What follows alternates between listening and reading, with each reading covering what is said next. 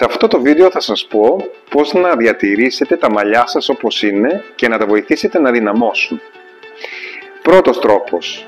Αρχικά θέλουμε να κάνουμε γενικές εξετάσεις αίματος και να δούμε τα επίπεδα του σιδήρου και του θηροειδή. Βασικοί παράγοντες και βασικοί πυλώνες για να έχουμε υγιή μαλλιά. Ξεκινάμε πρώτα από μέσα.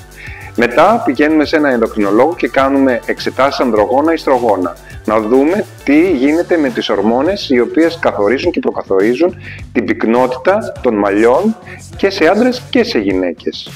Αμέσως μετά έχουμε τα προϊόντα που χρησιμοποιούμε στο σπίτι. Τι προϊόντα χρησιμοποιούμε στο σπίτι; Είναι χωρίς sulfate. Τα προϊόντα που είναι χωρίς sulfate, όπως είναι τα σαμπουάν, γιατί αυτό το συστατικό είναι το συστατικό που αφρίζουν τα μαλλιά. Τα μαλλιά δηλαδή έχουν ε, την ιδιότητα να καθαρίζονται με απορριπαντικά συστατικά που είναι μέσα στα σαμπουάν. Οπότε χρησιμοποιήστε μικρότερη ποσότητα σαμπουάν και συνήθως ή μάλλον ακόμα καλύτερα θα μπορούσαν αυτά τα σαμπουάν να είναι χωρίς sulfate, χωρίς θηϊκό άλας.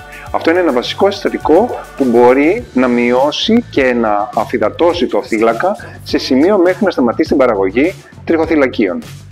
Αμέσως μετά μπορούμε να δούμε ε, τις τεχνικές εργασίες. Δηλαδή, ποιες είναι οι τεχνικές εργασίες οι οποίες γίνονται στα μαλλιά σας, σε τι συχνότητα, πόσο τα φύρετε, τα πιάνετε με κάποια λάστιχα, τα πιάνετε την ώρα που κοιμάστε, τα ξεμπερδεύετε όμορφα και προσεκτικά, σε τι ποσοστό είναι τα μαλλιά σας πιασμένα προς τα πάνω, ειδικά στο χώρο εργασίας, γιατί έχω ακούσει πολλές γυναίκες που δουλεύουν σε χώρους εστίασης, μαγειρικής ή σε κάποια ξενοδοχεία και σε κάποιες άλλες δουλειές, οι οποίες τους υποχρεώνει να έχουν τα μαλλιά τους πιασμένα. Εμείς τα μαλλιά τα θέλουμε να είναι όσο γίνεται σε μια φυσική κατάσταση χωρίς να τα κουράζουν.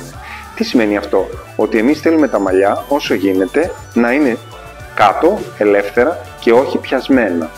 Έτσι, και οι τεχνικές εργασίες όπως είναι βαφές, αντάβιες, περμανάτ, ε, ισιωτική που πλέον έχει εκλείψει δεν αναφέρω μέσα τις θεραπείες κερατίνης γιατί αυτές είναι θεραπείες οι οποίες βοηθούν τα μαλλιά στον πυρήνα να φτιάξουν.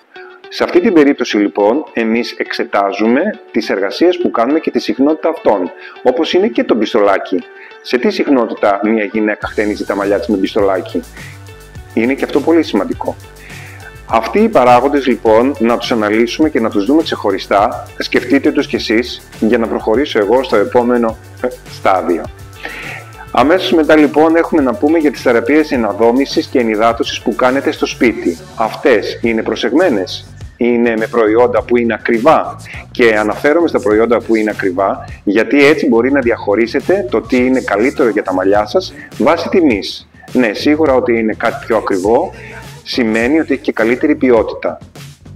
Οπότε, επενδύστε στα προϊόντα που χρησιμοποιείτε στο σπίτι, όπως είναι οι μάσκες, όπως είναι το μετάξι, όπως είναι οι βούρτσες που χρησιμοποιείτε, οι πρέσες που χρησιμοποιείτε, το πιστολάκι και όλα αυτά που χρησιμοποιείτε στο σπίτι, έτσι ώστε να βοηθήσετε τα μαλλιά σας να γίνουν και να παραμείνουν πλούσια. Το ένα μυστικό που θέλω να σας μοιραστώ τώρα μαζί σας είναι το λάδι, το ελαιόλαδο, καστορέλαιο κτλ. Όλα αυτά μπορούν να τοποθετηθούν στα μαλλιά σας, ιδιαίτερα στη ρίζα των μαλλιών, μισή ώρα πριν το λούσιμο. Τι γίνεται τότε; Εμείς βάζουμε βιταμίνη ε και κάποια καλλιτικά συστατικά που έχει το απλό ελαιόλαδο που εμείς αυτή τη στιγμή αναφέρουμε, το οποίο το τοποθετείτε με τις ψύχες των δαχτύλων σας, στις ρίζες των μαλλιών και όχι τόσο στα μήκη. Γιατί έτσι κι αλλιώς θα μπείτε στο αν θα αφαιρεθούν όλα αυτά τα καλλιτικά. Όμως, ωστόσο, έχουμε βοηθήσει το τριχοθυλάκιο και όλους τους θύλακες με το ελαιόλαδο μισή ώρα πριν το λούσιμο να πάρουν όλη αυτή τη βιταμίνη ε, να τους ενεργοποιήσουμε και μετά να τα λούσουμε προσεκτικά με τα κατάλληλα σαμπουάν που θα χρησιμοποιήσουμε και σας έχω ήδη προτείνει.